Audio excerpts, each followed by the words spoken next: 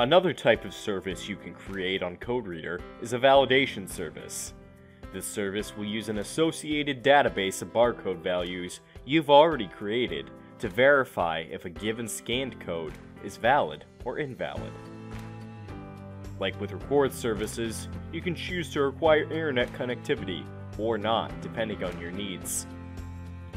If you choose to validate on device, your users will be asked to download the latest database upon choosing the service.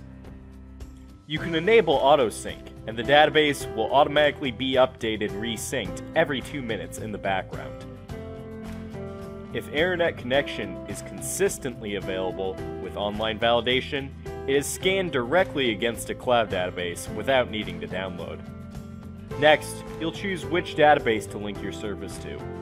This is the database against which all scan codes will be checked.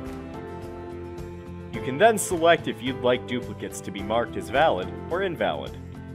Marking duplicates as valid means no matter how many times the database value is scanned, a valid screen will appear for the user.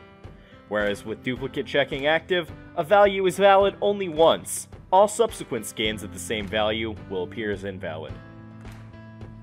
Sometimes, you may need duplicates to be invalid for only one day at a time, becoming valid again if scanned the next day.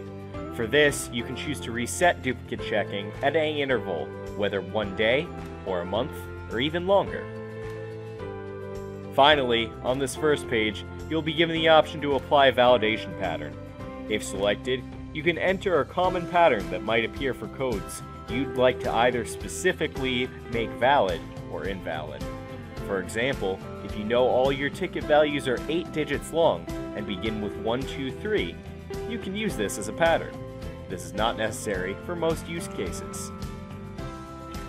Once you've created your service and added your applicable users, you will again have the choice to add questions and configure advanced settings. However, like with record scans, you do not need to choose either of these options to finish creation of a complete service. Because these are advanced settings, we'll discuss these options in a separate video, including Autodesk Scan and AutoSync scans.